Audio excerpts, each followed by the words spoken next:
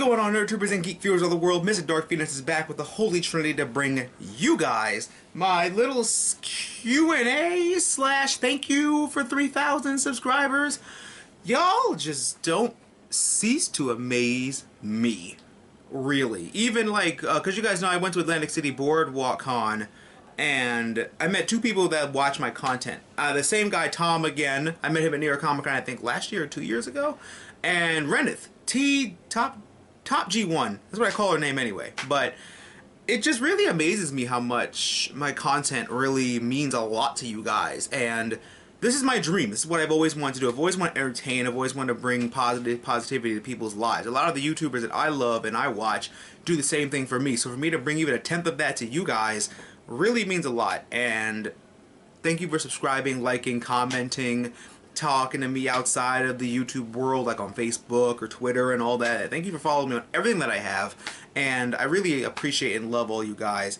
Um, but let's go into some questions uh, from the Q&A. Uh, Jack Cooper on Facebook asks, where did you get your Arsenal jacket? Um, my aunt, uh, me and my mom went to North Carolina to visit my aunt one summer, and this is back when they had first confirmed the Arsenal jacket. Like, I was going to be Malcolm Merlyn, I was gonna do like a whole Dark Archer thing, but then they confirmed and they showed Colton Haynes' jacket. I was like, I must do that.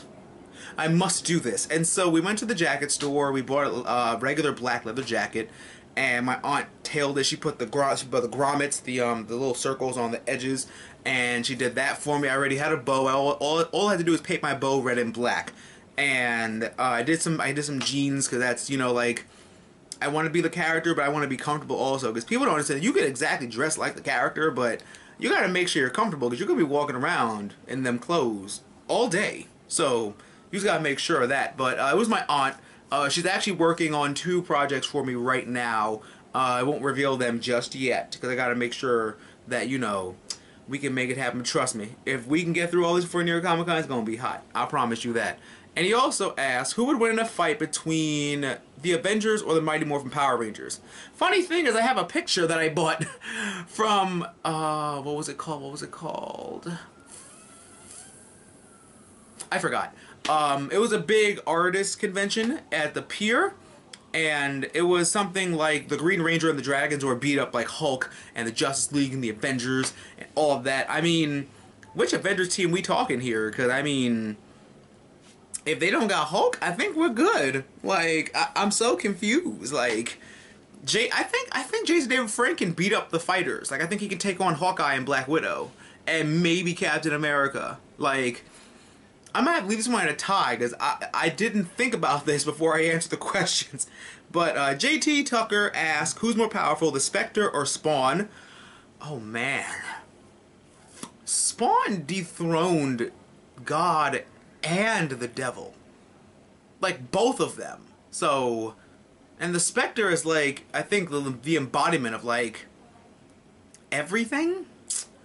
You know, I'm gonna go with my man Spawn. I'm gonna go. I'm gonna go with Spawn on that one. Fan cast for Lobo, too serious and too humorous. Uh, one serious one is Danny Trejo. I really, really want him to beat Lobo because I really feel like he's got the look and the attitude and everything is down packed for him to be Lobo. So what? He's old. So what? Like that doesn't even matter anymore. Like you don't even don't even give me that. My second serious choice.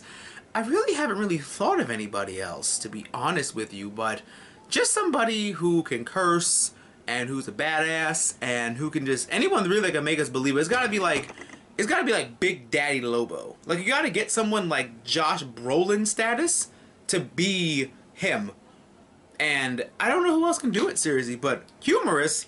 Uh, let's see, humorous wise, who could play Lobo in a humorous, humorous way?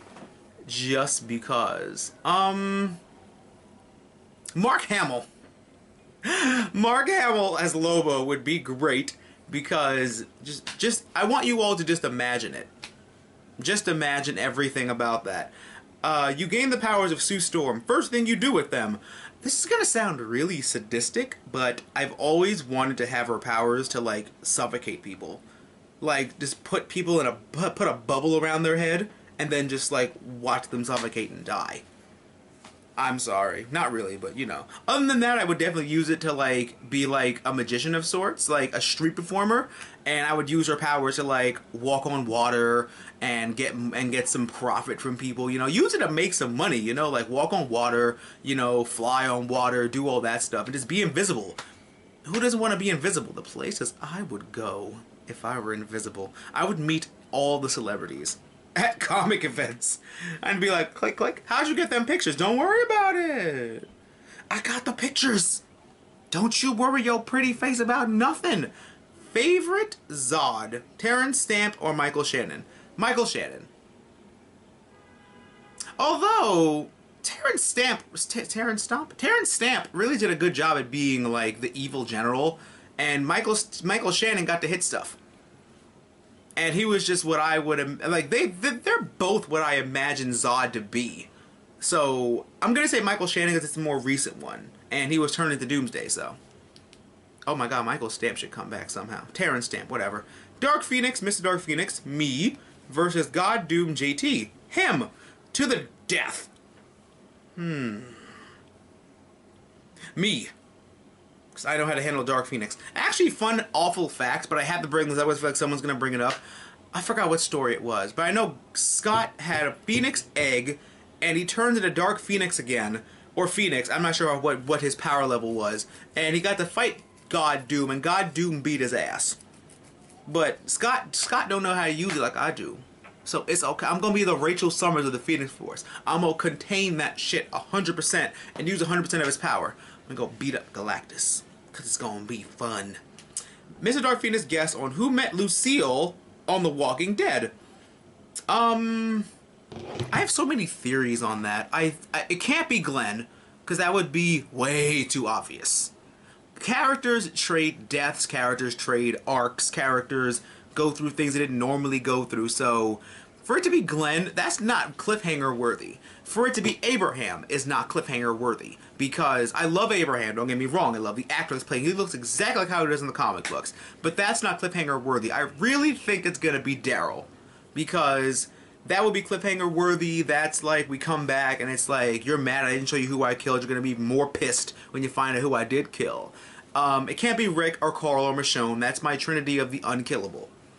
You cannot kill them at all. Like, it centers around Rick. If Carl goes, Rick turns into Shane, and nobody wants that. And Michonne, because she's the only black person that's actually lived this far. R.I.P. Tyrese. I miss you so much. But that's who I think it is. On Daryl might be too hurt for Negan to even touch, so maybe what's his face did that on purpose. But we're just gonna have to wait and see. But for 3,000 subscribers, for I think even now almost, almost 3,200 of you, I want to do a really big giveaway video. So, in case you guys don't know, you've seen my superhero stuff unboxings. I do a lot of those. That's how I got all the awesome stuff that I get, like my Black Panther Funko and my America bottle opener and a lot of other cool stuff. I'll leave the card somewhere in here in the description. You guys can check them out. I am giving away the Suicide Squad box the gold box. That is $69. Funny, I know. But I am doing that for you guys. Like I said, all you have to do to enter, this is going to be a little bigger giveaway, so I'm going to have maybe give it two things. But all you have to do to enter is be a subscriber and leave a comment on this video. Brownie points, if you follow me on Twitch, all my links will be in the social media bar below. My twitch.tv slash Mr. Dark Phoenix. I play games on there. I make fun of stuff. It's just fun commentary and a lot of good gameplay. In case you guys want to see more of me, I'm streaming more often now the TV's off for a little bit or I have less TV to do. But I really love to have you guys on my YouTube family, be part of my Twitch family. And it's really fun, I promise you. It's twitch.tv slash Mr. Dark Phoenix. One Suicide Squad box, golden edition, $69. I love you guys so much. Thank you so much again. Let's try and do a whole bunch of stuff. Comment, rate, subscribe, share with all your awesome nerdy friends. And always remember, at the good times and bad times, remember to geek out and enjoy your lives. And I'll catch you guys next time for another great video. From the bottom of my heart, guys, thank you so much again. You guys make this so worthwhile. And I appreciate each and every one of you. And I'm so glad to do giveaways. And let's just get this giveaway started.